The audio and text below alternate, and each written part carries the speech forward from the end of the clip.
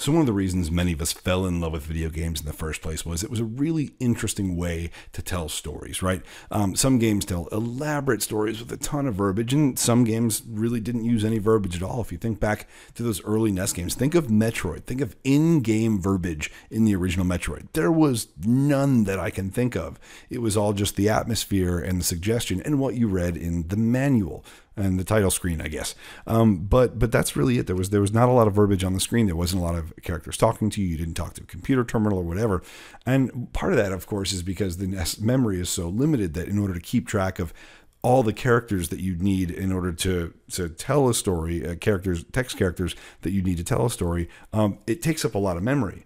Uh, games that used a lot of text, like Dragon Warrior, Final Fantasy, they tended not to have a lot of eh, you know difficult collision detection and things like that. So their collision maps could be really compressed down, which gave them more room for for for text. Now our engine does a lot of things, so we have to sort of split the difference, making it available to do text, but you know probably not as much as Dragon Warrior 4, um, at least not by default, not without getting into the code under the hood.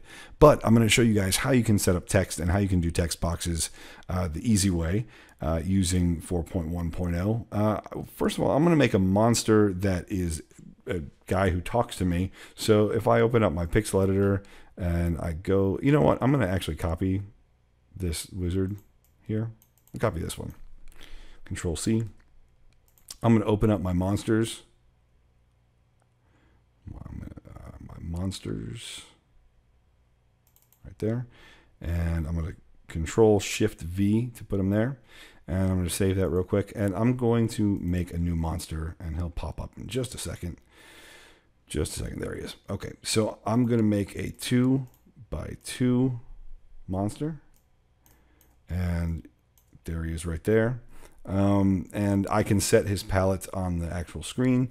I'm going to go into object details and inside of his details, I'm going to make him of NPC type. I'm not going to do anything else with him because he's just going to sort of stand there.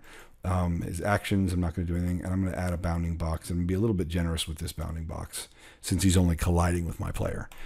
Uh, so now I've got an NPC object. I'm going to save him as NPC and save new. And I'm going to make a new monster group with just NPCs in it. And I'm going to call it just NPCs. Save. And now I can go to my overworld. And I'm going to go to the second screen here. I'm going to put them right here.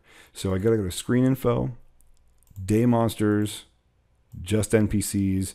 And let's see, what does he look like? Yeah, I'm going to use the monster palette for him. There we go. I'm going to right click and place monster one place an NPC right here. So now this guy is going to talk to me when I approach him and press the B button. But in order for that to happen, I've got to do a few things.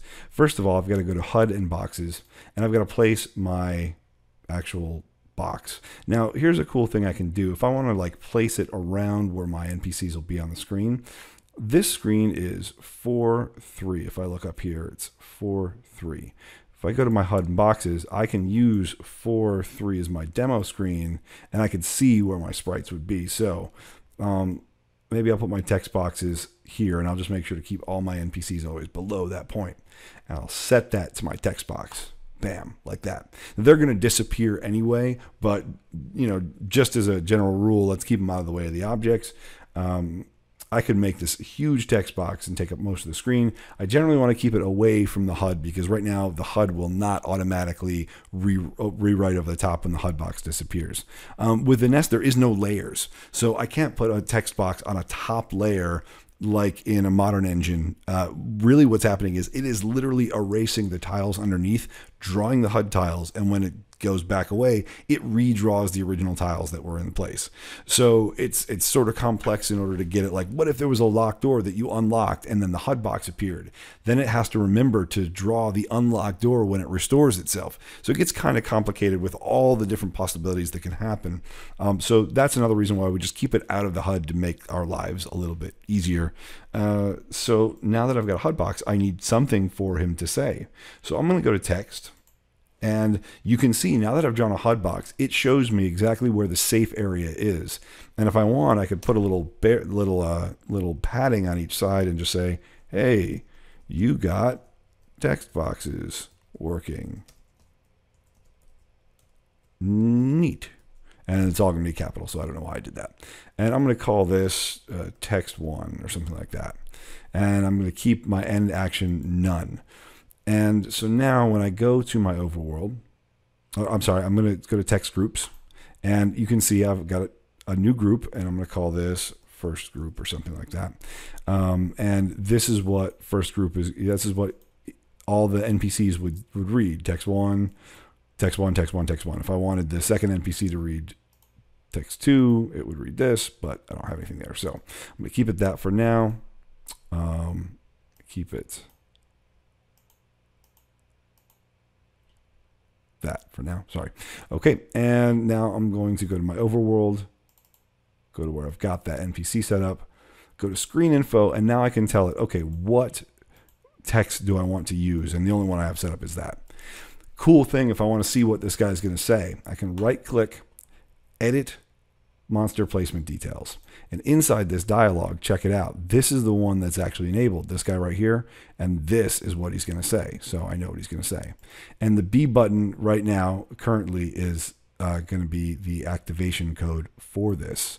Now let's let's play this real quick and see what happens.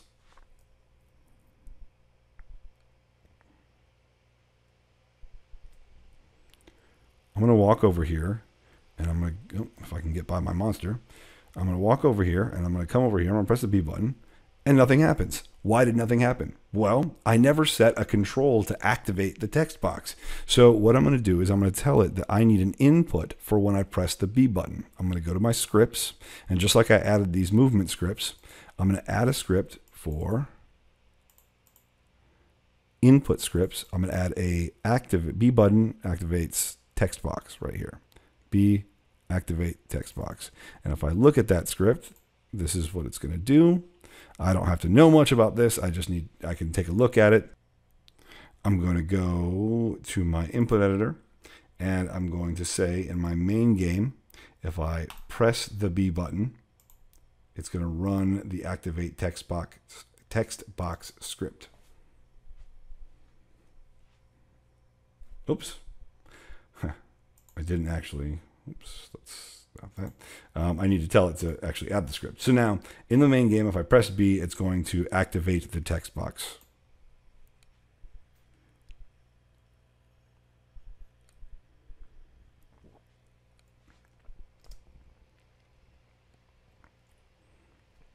now I'll come over, press the B button, hey, I got text box working, neat, and press B again, and it all restores, and I'm back to playing my game again. So it's that easy to start adding a story to your game, and you can be really creative on how you use that text box. Um, you could have it all along a black background and make it a cut scene that's telling a story.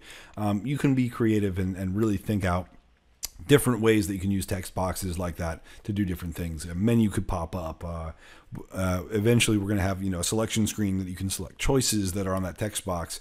Um, it could be your credits. It could be the name of the town that you're in could show up on the top corner of the screen if you didn't want to use it for actual uh, speaking and talking verbatim to characters. So uh, that I hope that gives you some idea of how to use text and dialogue in your game and how to uh, activate it using the B button. Uh, and next, we're going to actually start looking a little bit at how to edit scripts.